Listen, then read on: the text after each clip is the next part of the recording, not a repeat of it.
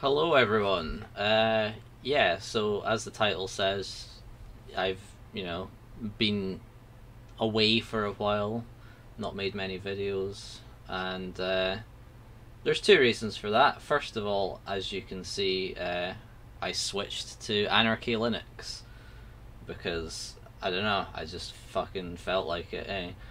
I always wanted to run an Arch based distro, so here we are. And gotta say, I'm loving it so far. Um, so, you know, that explains maybe the first week or so of me not making any videos, but, uh, well, the last two weeks I've not been making any videos because, well, my cat died. He got run over outside my house.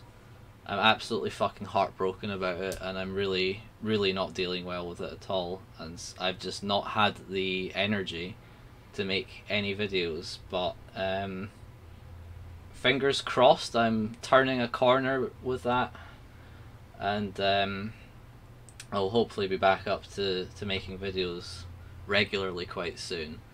Um, so yeah, this is just a quick update video to explain why I've disappeared.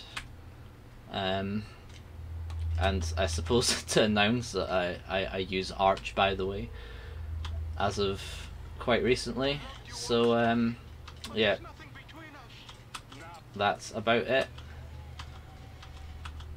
As, as you can see, Grand Theft Auto 5 still works.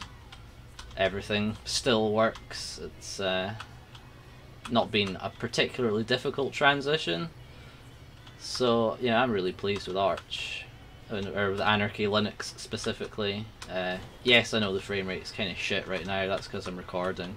So yeah, just take my word for it. It runs really nicely. Um, so regular programming back on soon.